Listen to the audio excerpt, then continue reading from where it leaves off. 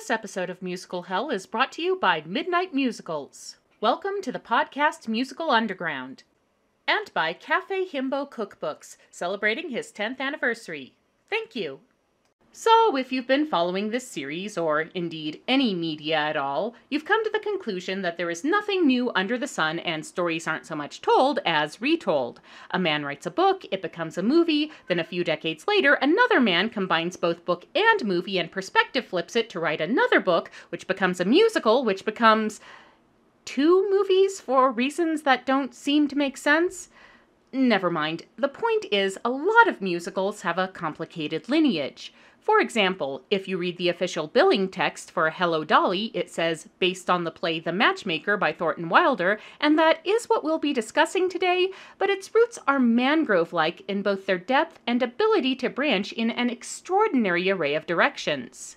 To begin with, the 1954 romantic farce, considered one of Wilder's keystone works along with Our Town and The Skin of Our Teeth, was actually the second version of the script Wilder produced, the first being the 1938 flop The Merchant of Yonkers, and that was partially based on the 1842 German play, forgive my pronunciation, Einen Jux will er sich machen by Johann Nestroy, which in turn was an expansion of an 1835 English one act called A Day Well Spent by John Oxenford. And that's just the overarching plot.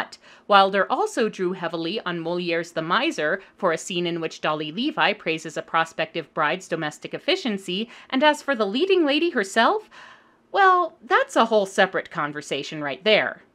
So here's how it originally went down.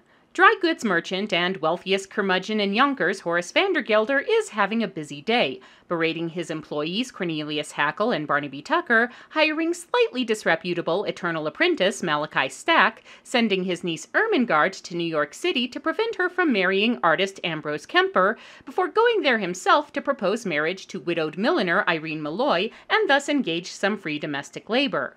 Assisting him in these last two endeavors is his late wife's dearest friend, the multitasking Jill of all trades, Dolly Gallagher Levi.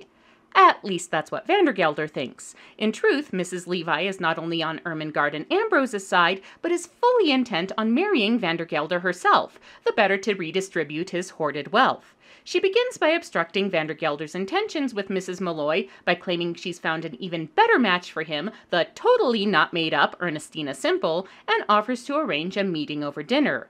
Meanwhile, Cornelius and Barnaby are fed up with the lack of work life balance and sneak away to have a grand day in the city, and the hilarity proceeds to ensue.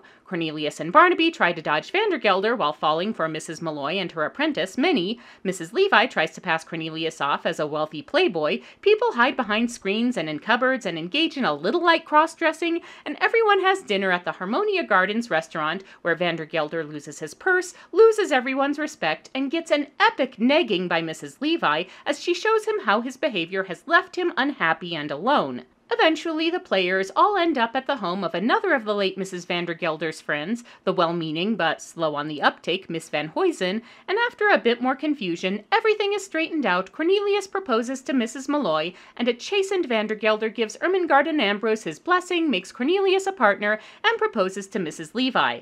After a bit of token resistance, she accepts, and Barnaby, in the role of epilogue, wishes the audience the perfect mix of peace and adventure in their lives. There are some works that seem like unusual choices to turn into a musical. And then there are works like The Matchmaker, which are so obviously suited for the genre, it's a bit of a surprise they weren't written for it in the first place. Farce is a natural fit for musical comedy, with its ensembles of colorful characters, wacky shenanigans that make for good song and or dance sequences, and abundant complications that turn out all right in the end. In addition, Wilder's script includes several soliloquies that easily translate into focal numbers for the characters.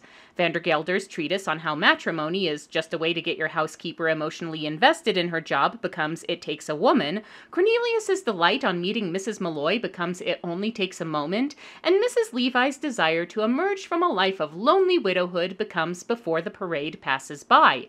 Trim the extraneous roles of Stack and Miss Van Huysen, give your title character a little more of a star turn, and you have a great musical, headed by a leading lady who is, in every sense of the word, timeless. While on one hand, the character of Dolly Levi is Wilder's own creation, on the other, she is drawn from a very popular archetype a servant, employee, or other subordinate who proves to be much cleverer than their theoretical superiors.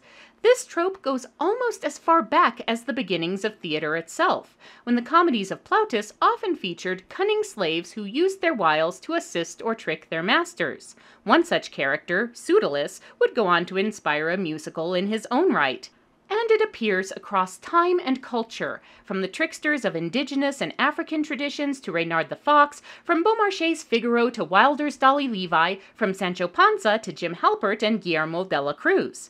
Because these characters speak to a universal truth, the chaos present even in the most seemingly rigid of structures. Throughout history, people who have had positions of privilege have liked to claim that privilege is justly bestowed, either by divine wisdom or by their own natural superiority or efforts.